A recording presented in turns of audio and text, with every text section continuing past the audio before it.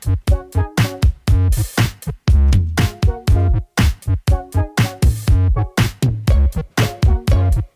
what's going on everybody? Paul Tech here and welcome back to another video. Today's video is going to be a quick tutorial regarding the LG Stylo 6. Now, I got a comment a couple days ago. I'll go ahead and share with you the comment here.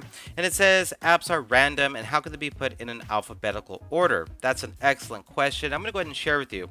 Now, if you have the app drawer enabled, what you want to do is go into the app drawer and they're going to see three dots up on top what you want to do is click on those three dots within the app drawer and then you want to click on the option for sort apps by.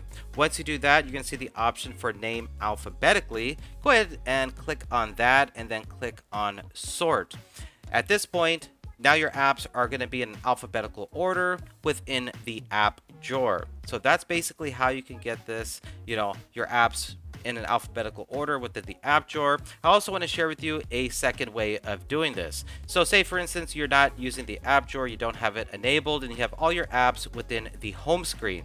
So what you want to do here is in order to get it in alphabetical order, all your apps, you want to go ahead and long press on an empty area on your display. So long press for like a second or two, and then you can see the option to the bottom for home screen settings. Go ahead and click on that, and then you want to look for sort apps by go ahead and click on sort apps by and then go ahead and click on name alphabetically.